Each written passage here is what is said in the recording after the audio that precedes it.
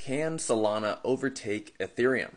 Watch until the end and I'll share some of the biggest news coming out about Solana. I think most people already know that Solana is far superior to ETH in terms of scalability, transaction fee, and speed. And Solana's ecosystem has grown exponentially since its pump. But I will say they are nowhere near Ethereum's network effects. And network effects are more important than people understand.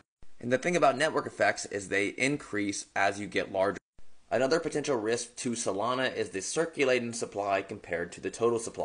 Over 40% of the total supply is still not in circulation. But Solana has built an incredible operating team and just raised $314 million in their last venture capital round. Typically, venture capital is very good at predicting these things and have the resources to make them widespread.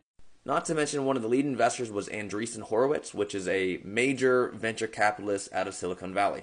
There is a lot of speculation from investors that most of this hype came from the NFT craze in the Solana space, and that they couldn't get into DeFi like Ethereum has, with DEXs and lending and banking protocols. But I'll tell you that this is changing fast. The big news for Solana that will make or break the project is its expansion into DeFi. I think if they can break this, they will be around for the long term and could possibly overtake ETH eventually. These DeFi projects are things like Serum, Terra Luna, and Raydium. Go check out those new exchanges and see if you can get some great yield.